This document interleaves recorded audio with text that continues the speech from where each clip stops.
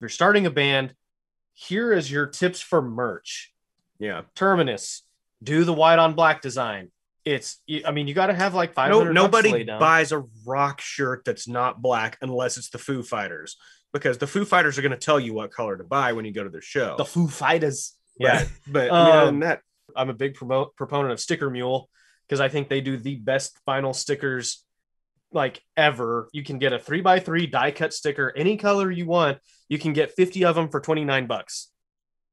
Turn around and sell it for three or four dollars. And guess what? You just made 150 bucks in profit.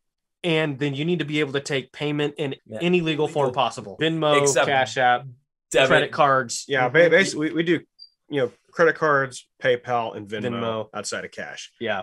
You know, Cash App still too janky.